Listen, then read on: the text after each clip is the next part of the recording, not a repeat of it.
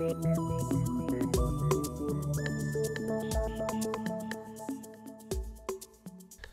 willkommen bei Banken in die Schranken.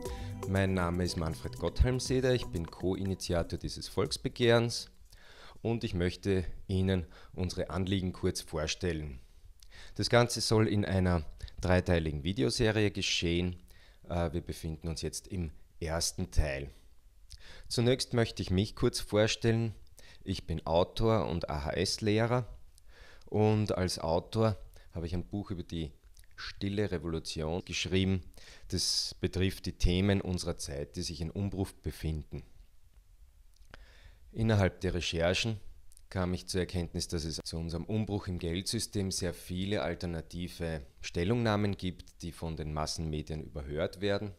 Habe dann eine Plattform gegründet mit über 50 Geldsystemkritikern, um denen eine Stimme zu verleihen und habe dann ausgehend von dieser Plattform, mit denen dort eine einige tausend Seiten lange Diskussion geführt. Ich war da als Moderator tätig und aus diesen Diskussionen ist dann letzten Endes das Konzept für Banken in die Schranken hervorgegangen. Ja, was ist die Motivation für dieses Volksbegehren? Das soll uns als erstes beschäftigen.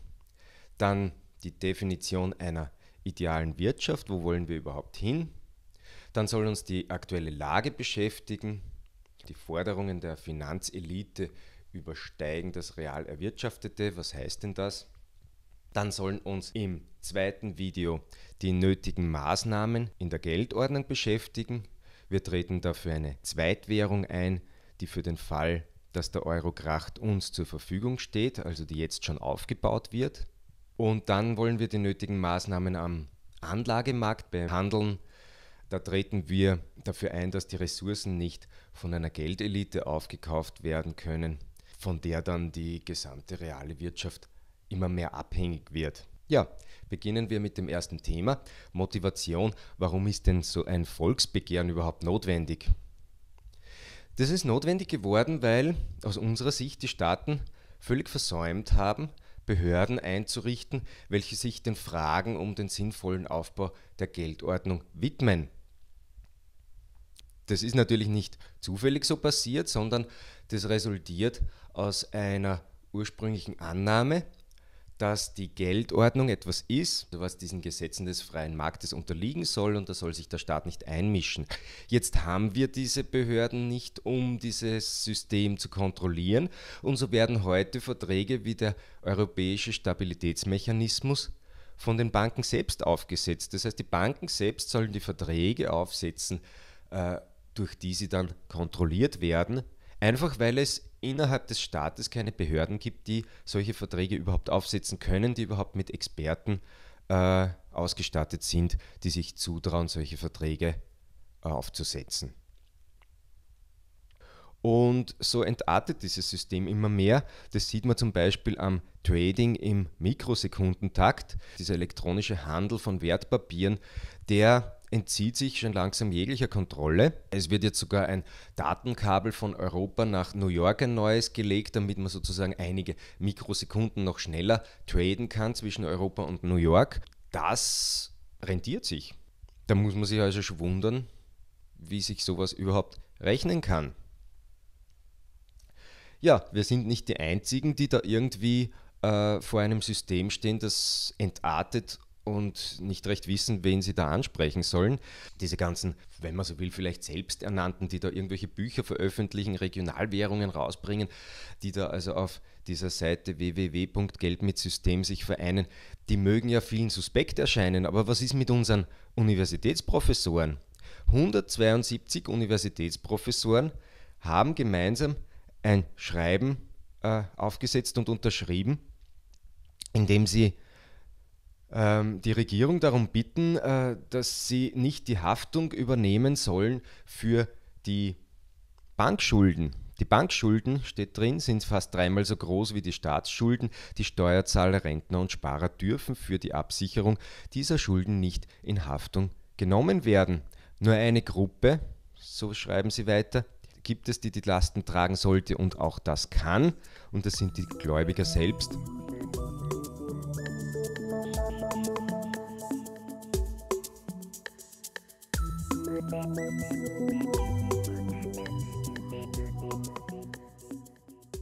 Es geht auch 172 Universitätsprofessoren nicht anders als uns vom Volksbegehren. Sie haben keinen Ansprechpartner und ein Volksbegehren, wenn es denn genügend Unterschriften erhält, zwingt nun die Regierung, einen Ansprechpartner zu bilden.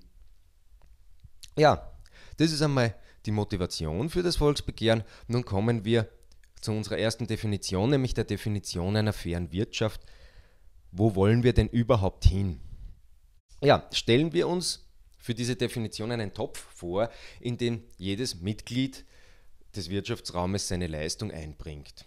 Man könnte sagen, in diesem Topf befindet sich dann das Bruttoinlandsprodukt. Wir müssen aber noch dazu rechnen, dass in solchen Topf auch Leistungen reinfließen, wie die einer Mutter oder die Leistungen bei freiwilligen Vereinen etc.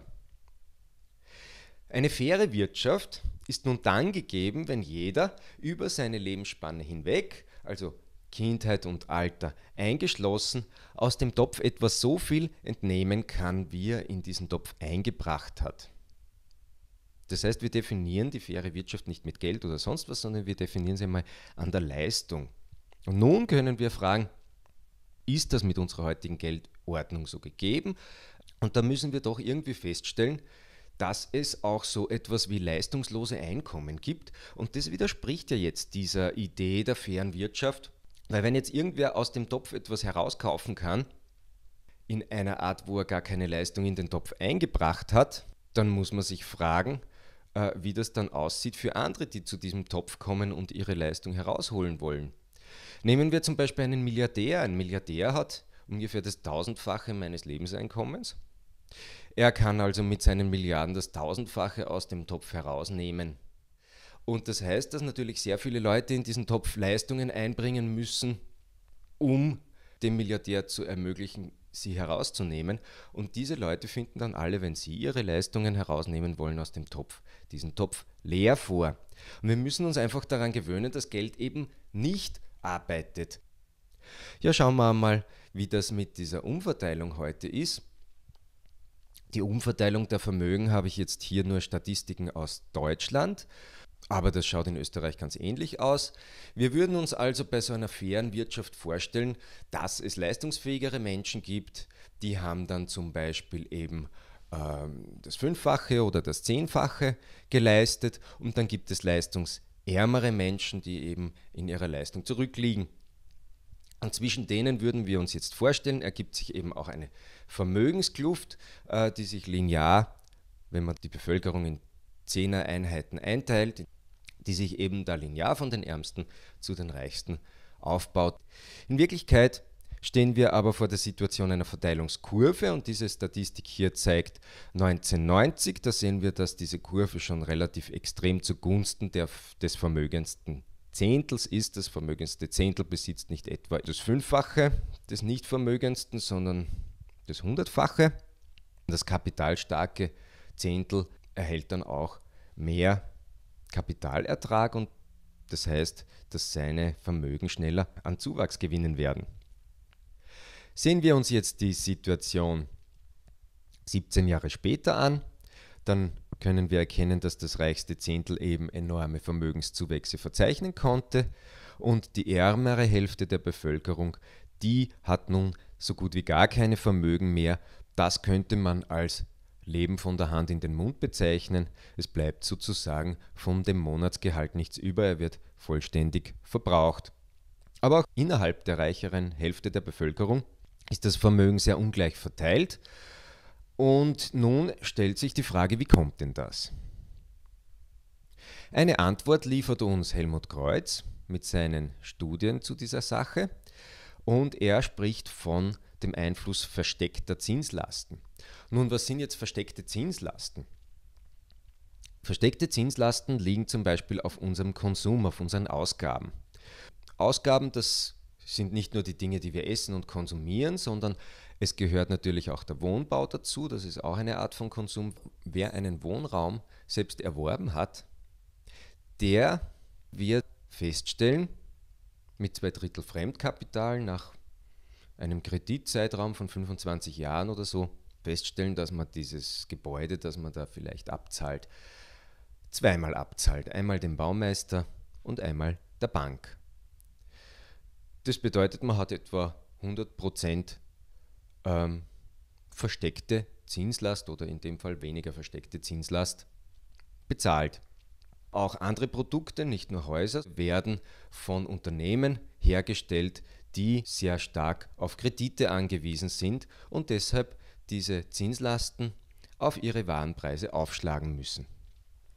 Helmut Kreuz hat errechnet, dass auf den Warenpreisen etwa 34,8% versteckte Zinslasten liegen und er hat dann diese Statistiken betreffend Deutschland, er hat dann diese Bevölkerung in Haushaltsgruppen eingeteilt, von den Ärmsten zu den Reichen und hat dann einmal in diesen grauen Balken dargestellt, was ist der Konsum der reichsten Haushaltsgruppe gegenüber der ärmsten Haushaltsgruppe.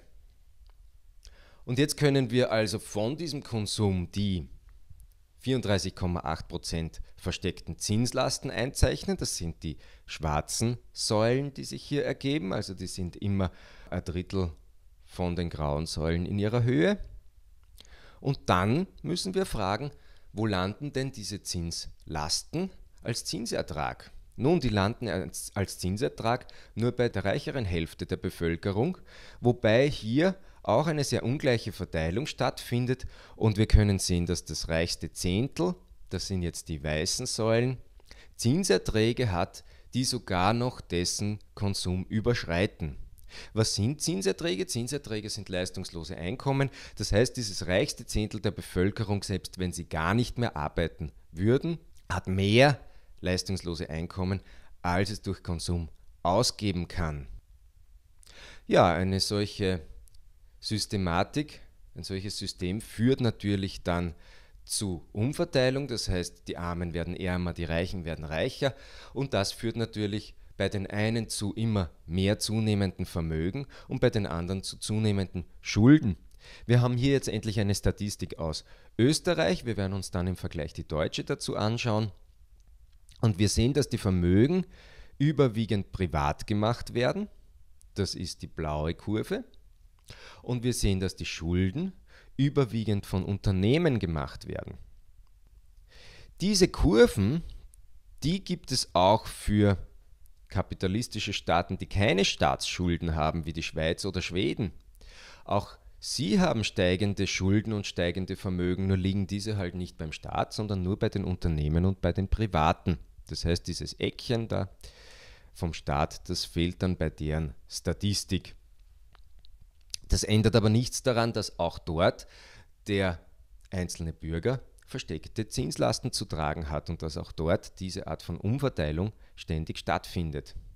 Schauen wir uns diese Statistik jetzt einmal für Deutschland an. Ein bisschen eine andere Darstellung. Wir sehen wieder diese Spiegelbildlichkeit von Geld, Vermögen und Schulden, auf die wir später noch zu sprechen kommen werden. Und wir sehen da auch eingezeichnet das BIP, Bruttoinlandsprodukt, war zuerst in der Grafik auch drin von Österreich und sehen, dass dieses Bruttoinlandsprodukt nicht eine solche Wachstumskurve verzeichnet, die immer mehr beschleunigt, sondern das Bruttoinlandsprodukt, das wächst relativ linear. Warum ergibt sich diese ganze Symmetrie? Die ergibt sich, weil an sich jedem Schuldner auch ein Gläubiger gegenübersteht und der kann also das, was der andere an Schulden hat, für sich als Geldvermögen verzeichnen. Schauen wir uns das jetzt in der nächsten Statistik einmal extra herausgearbeitet an. Wir haben 1980 ein Anlagevermögen, das so groß ist wie das Bruttosozialprodukt. Ein Jahrzehnt später, 1990, ist das Anlagevermögen schon doppelt so groß. Zwei Jahrzehnte später hat es sich gegenüber dem Bruttosozialprodukt schon vervierfacht. Was bedeutet denn das? Das bedeutet, dass die Geldanleger viermal so viele Forderungen haben, wie die Wirtschaft überhaupt an Leistung erbringt. Und nun kann man sich natürlich fragen, wie kann denn jemand Forderungen haben, mehr als Leistung erbracht wurde? Nun, in unserem Finanzsektor ist das möglich. Dort können also Forderungen generiert werden, ohne Realwirtschaft Leistung zu erbringen. Und das ist tatsächlich nur im Finanzsektor möglich, weil ein, ein realwirtschaftliches Unternehmen, das kann immer nur die Menge an Geld, an einnehmen und an Leistung fordern, Geldleistung fordern, als es auch an realer Leistung verkauft hat. Ja, wie kann so ein Finanzsektor aus dem Rahmen geraten? Schauen wir uns dazu die nächste Grafik an. Wir können uns hier die Realwirtschaft als etwas vorstellen, wo zwischen Produzenten und Konsumenten ein Handelskreislauf entsteht. Und demgegenüber steht eben ein Geldanlagesektor, ein Finanzsektor und dort geht es darum, Gelder anzulegen, ohne dass dort eine Produktion oder eine Konsumation stattfinden würde. Die Handelsgüter dieses Sektors sind eben Sparbücher, äh, Energie bzw. Verträge auf Energie, auf Land, auf Rohstoffe, auf Devisen und dann auch Firmeninfrastruktur, die durch Aktien aufgekauft wird. Wir können uns jetzt fragen, ja, ähm, was wird dann dort gehandelt, weil ja hier auch so ein Geldzirkel dargestellt wird. Nun, diese Dinge werden untereinander gehandelt. Und tatsächlich werden ja die meisten Aktien nicht von Unternehmen gekauft, die sie emittieren. Das geschieht nur bei der Emission einer Aktie. Also da fließt dann wirklich äh, Geld vom Geldanlagemarkt in die Realwirtschaft zurück. Das ist aber eher selten der Fall, sondern Aktien bestehen meistens schon 10, 20 Jahre und werden immer wieder weiter gehandelt. Davon hat die Realwirtschaft nichts mehr. Schauen wir uns jetzt die Pfeile an, die da also zwischen diesen zwei Märkten liegen. Zum einen könnte es ja mal sein, dass ein Sparer seine Sparvermögen verkonsumiert, also wieder dem Konsum zuführt, sich entspart. Dann haben wir also einen Pfeil durch Konsum an die Realwirtschaft fließt dann Geld. Bei Aktienemissionen habe ich schon erwähnt, fließt Geld an die Realwirtschaft. Und dann gibt es auch noch die Kreditvergabe der Banken, durch die Geld in die Realwirtschaft wandert. Dann gibt es die umgekehrte Entwicklung. Es gibt eben auch Geldströme von der Realwirtschaft in den Finanzsektor. Das sind nun die Zinslasten, die Pacht und die Dividenden. Und dann gibt es eben auch Preiserpressung am Rohstoffmarkt. Wie ist das zu verstehen? Das ist so zu verstehen, ein Spekulant, der kann sich aussuchen, wann er kauft, was er kauft und wie viel er kauft. Der kann sagen, okay, ich und meine äh, Verbündeten, wir setzen dieses Monat auf Lithium, dann wird Lithium vom Markt aufgekauft. Der Produzent, zum Beispiel jemand, der Akkumulatoren produziert, der kann sich nicht aussuchen, wann und wie viel Lithium er kauft. Er muss es regelmäßig zukaufen, um die Produktion aufrechtzuerhalten und damit muss er die erhöhten Preise zahlen. Vieles, was wir als Spekulationsblase erleben, platzt nicht, sondern führt nur dazu, dass die Realwirtschaft irgendwann die überhöhten Preise äh, annimmt und in dem Moment ist sozusagen die Blase, die da künstlich gebildet wird, realisiert und die Erträge der Finanzjongleure sind in ihre Taschen gewandert. Schauen wir jetzt einmal die Situation einige Jahrzehnte später an. Ich habe diese erste Grafik so ein bisschen im Sinne der 70er Jahre gezeichnet, wo es eben diesen Anlagemarkt schon gab, aber wo er nicht die Realwirtschaft dominiert hat. Heute sieht die Sache etwas so aus. Ein Großteil der Gelder kreist in diesem Finanz- bzw. Ressourcenmarkt, macht dort eine Riesenblase. Es wird also zwischen allen möglichen Anlageprodukten hin und her gehandelt.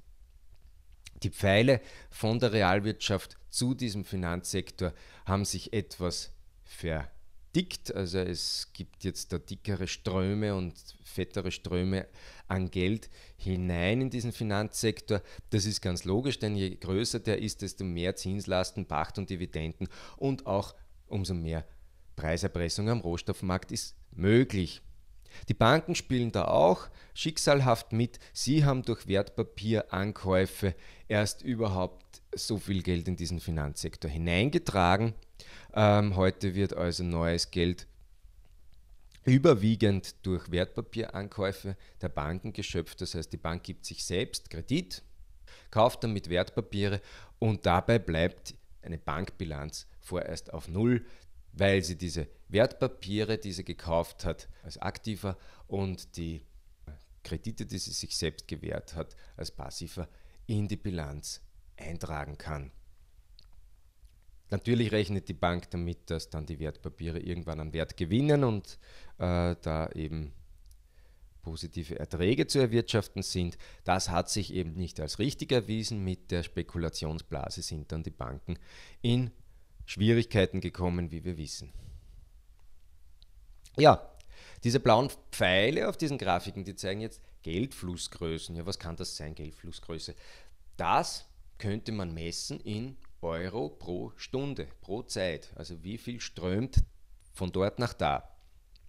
Und genau diese Einheit wird eigentlich in unserem Finanzsektor nicht äh, sinnvoll erfasst, zumindest überwiegend nicht. Und damit steht die Volkswirtschaftslehre vor dem Problem eines Elektrotechnikers, dem das Voltmeter fehlt. Dem geben wir eine Verschaltung. Er soll erforschen, wie die funktioniert, aber wir lassen ihm das Messgerät nicht. Hier müsste also auch einmal konsequent gefordert werden, dass Geldflussgrößen erfasst werden, damit man weiß, wo Geld überhaupt herumfließt und hinfließt. Zwei Volkswirtschaftsprofessoren möchte ich hier erwähnen, die sich um die Simulation des Systems bemühen. Das ist zum einen Professor Peter Fleißner aus Wien und Professor Jürgen Krämer aus Koblenz. Die versuchen diese Lücke, nämlich dass eben diese Geldflussgrößen nicht ordentlich erfasst werden, durch diese Simulationen zu schließen. Und interessanterweise fanden beide über ihre Simulationen zur Zinskritik. Ja, ähm, die Geldflüsse werden nicht generell nicht erfasst, sondern eben nur innerhalb von Banken nicht. Wenn einmal etwas über die Währungsgrenzen hinausgeht, dann werden sie sehr wohl erfasst und hier haben wir eine Statistik dazu. Diese Statistik zeigt, wie viel von den Foreign Exchange Transactions überhaupt spekulativen Zwecken dient und wie viel davon realwirtschaftlichen Zwecken dient. Das heißt, wie viel dieses getauschten Geld, Geldes an den Währungsgrenzen ist denn überhaupt für den Warenhandel notwendig? Und das ist die blaue, dieser blaue Balken oder diese blaue, äh, dieser blaue Sockel, den wir da in der Grafik unten sehen. Alles, was hellblau ist, dient spekulativen Zwecken.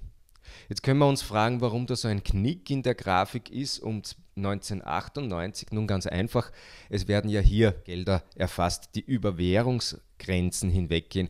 Und da dann der Euro entstanden ist, sind natürlich die innereuropäischen Währungsgrenzen verschwunden und so ist erst einmal diese Statistik rückläufig gewesen.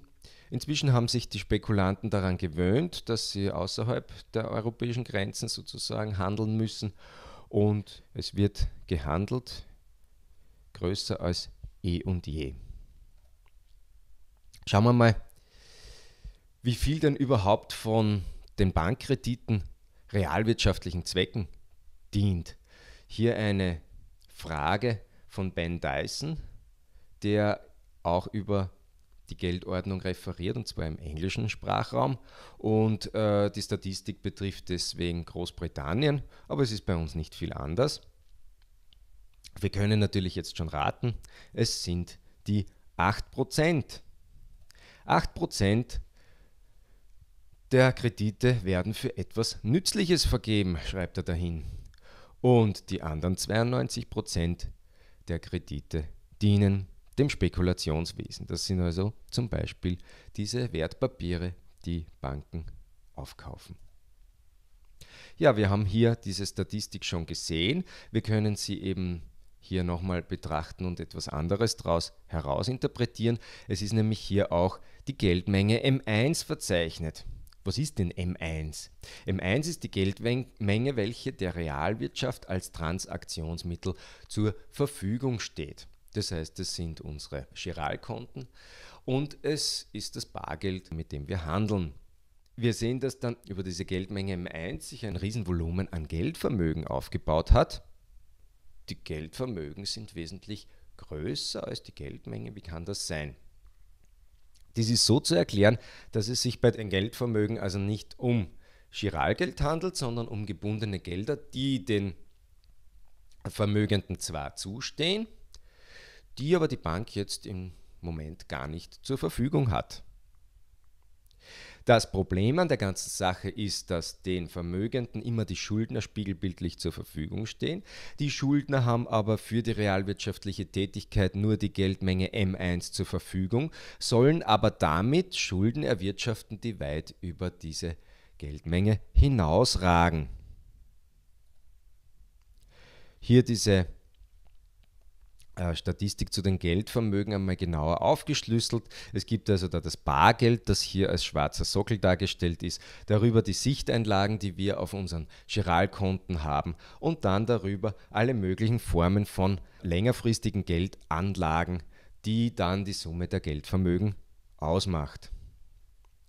Ja, dieses exorbitante Wachstum der Geldvermögen, dem dann die Schulden gegenüberstehen, das ist hier in der Grafik einmal anders aufgeschlüsselt, nämlich in Relation zum GDP, das ist das Bruttoinlandsprodukt, englischsprachiger wissenschaftlicher Artikel von Gunther Tichy.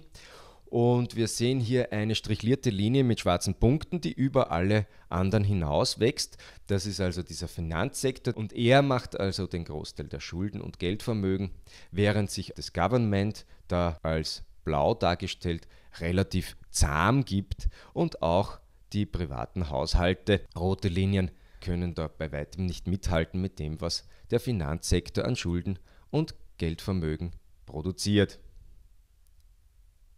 Ja, ich habe unten zwei Adressen angegeben. Das eine ist eine Adresse, wo Sie eine Bankbilanz einer kleinen Genossenschaftsbank finden, nur um einmal überhaupt zu sehen, dass diese Idee, Bilan äh, Banken würden irgendwie das Geld ihrer Sparer an die Kreditnehmer vergeben, dass diese Idee auf unsere heutige Banksituation nicht mehr zutrifft.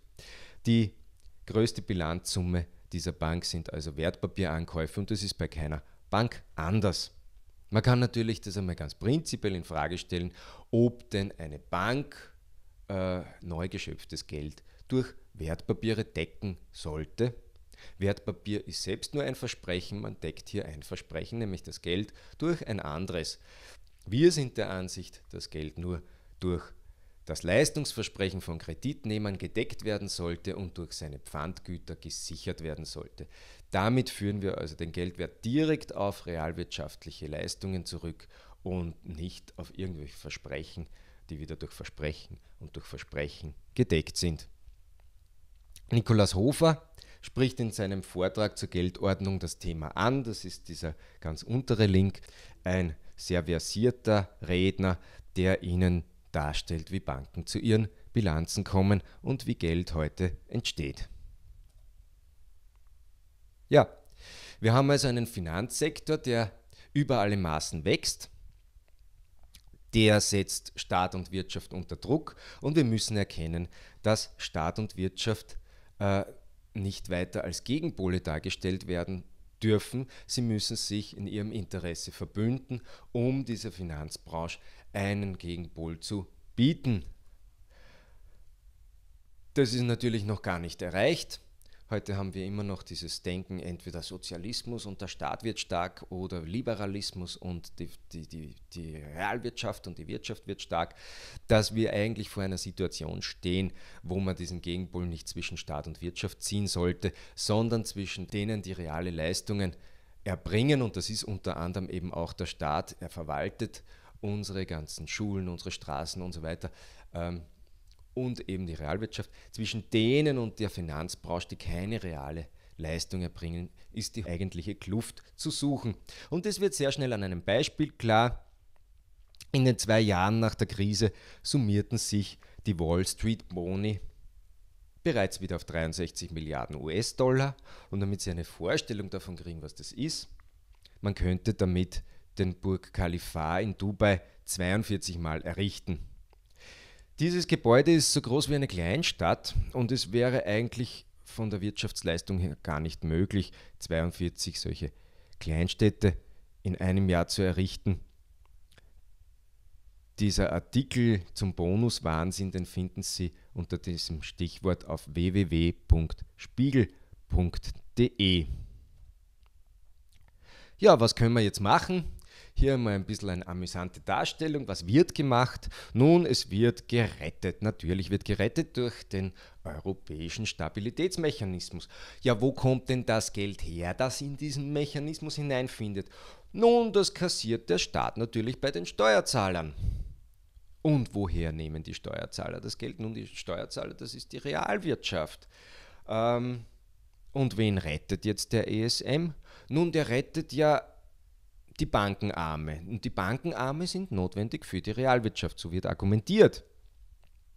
Was aber, wenn die Bankenarme direkt in diesen Geldanlagemarkt ausbluten? Dann rettet eigentlich der Staat mit dieser Methode nur den Geldanlagemarkt. Das haben nun einige bemerkt und fordern also eine andere Behandlung des Patienten Realwirtschaft. Die werden wir uns gleich anschauen. Äh, der sozialistische Ansatz, der fordert Vermögenssteuern. Vermögenssteuern, nun, das ist wie so ein externer Blutkreislauf rund um den Patienten herum. Das, was in den Geldanlagemarkt wandert, wird besteuert und äh, das wird dann wieder diesem Patienten Realwirtschaft zugeführt.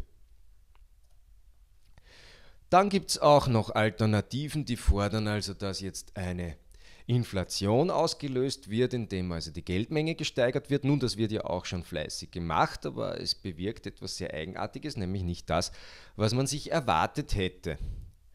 Ähm, natürlich versauert äh, diese Inflation irgendwie das Geld in der Form, dass es an Kaufkraft verliert. Und das ist hier dargestellt, äh, indem also dieser Geldanlagemarkt mit dieser grünen Flüssigkeit, die da aus unserem Patientenmund herauskommt, durchsetzt wird. Schauen wir uns jetzt an, warum das mit der Inflation so schlecht läuft. Nun, die klassische Lehre von Inflation ist die, dass durch diese Vermehrung der Geldmenge Geld in die Realwirtschaft kommt und dieses flutet die Realwirtschaft und dadurch entsteht übermäßiger Konsum und dann wird gekauft, die Regale werden leer gekauft. Da bemerken natürlich die Händler, dass sie jetzt die Preise in die Höhe setzen können.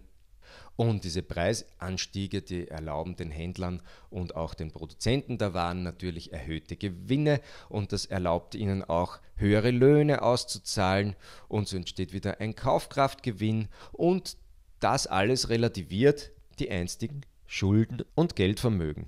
Denn die gestiegenen Preise in Relation zu diesen sind die Geldvermögen nicht mehr das gleiche Wert wie früher. Das bedeutet, dass die Vermögenskluft sinkt. Was wir aber heute durch die ganz gestiegene Geldmenge erleben, ist irgendwie anders und das liegt daran, dass dieses Geld gar nicht erst in die Realwirtschaft kommt. Dieses neue Geld, das bringen die Banken durch Wertpapierankäufe direkt in den Geldanlagemarkt sozusagen ganz an der Realwirtschaft vorbei. Was passiert dann? Dann entsteht ein Aufkauf aller Ressourcen durch Spekulanten. Die erpressen dann natürlich hohe Rohstoffpreise und Grundstückspreise von den Unternehmen. Und die verschuldeten Unternehmen, die müssen dann ihre Zinsen wieder auf die Warenpreise aufschlagen. Das bedeutet, die Waren werden teurer, die Kaufkraft sinkt, weil das Geld ja nicht da ist für irgendeine erhöhte Kaufkraft. Das ist ja nicht beim Konsumenten gelandet. Und das bedeutet letztlich, dass die Vermögenskluft steigt. Und das ist, was wir erleben. Also wir dürfen nicht auf diese positive Wirkung von Inflation hoffen. Das Geld landet einfach am falschen Ort. Ja, wenn das Geld am falschen Ort landet, dann kommt die Realwirtschaft, wie wir gerade gesehen haben, in Schwierigkeiten. Sie kann die Forderungen des Finanzsektors nicht mehr erfüllen und was passiert dann? Nun, dann kommt es zu Insolvenzen. Und hier haben wir also eine Insolvenzstatistik. Wenn die Realwirtschaft ihre Kredite nicht mehr tilgen kann, dann kommen letzten Endes selbst die Banken in Schulden. Sie erleben Kreditausfälle. Und diese Kreditausfälle, das ist die eigentliche heutige Bankenkrise. Ja, jetzt stellt sich natürlich die Frage, ob verschuldete Staaten die Macht haben, das Finanzsystem zu reformieren. Staat und Realwirtschaft sind Leidtragende der Ausbeutung durch das Finanzsystem und wir sind der Ansicht, dass sie durchaus Möglichkeiten haben und diese Möglichkeiten will ich im nächsten Video erörtern. Ich danke fürs Zuhören und würde mich freuen, wenn Sie auch das zweite Video von Banken in die Schranken ansehen.